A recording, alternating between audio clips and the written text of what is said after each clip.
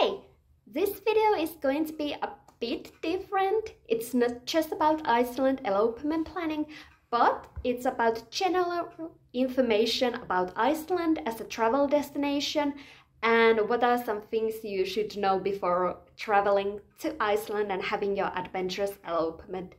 Let's go. So about Iceland, the capital city is called Reykjavik. And when you will be arriving to Iceland by airplane, you will be arriving to Keflavik International Airport. And the airport is about 45 minutes drive to from Reykjavik. You can get a prepaid SIM card at Keflavik Airport for internet connection. The currency in Iceland is Icelandic kronor.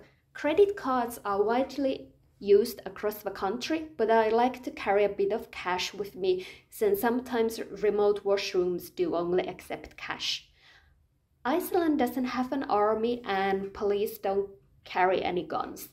Many people speak English. Even if you would end up to a situation where someone wouldn't speak English, they will pretty quickly find someone who does speak. One of my absolute favorite things is that Iceland doesn't have any mosquitoes. There are no alcohol in food stores and you need to get your alcohol in a liquor store.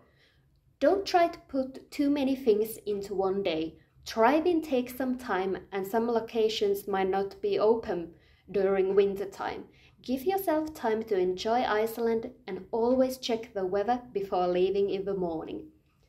If you want to know more traveling tips to Iceland and how to enjoy your elopement and honeymoon, on its fully Iceland. Leave a comment below if you want to know more about traveling to Iceland and I would be more than happy to share you with some information. See you in the next video. Bye!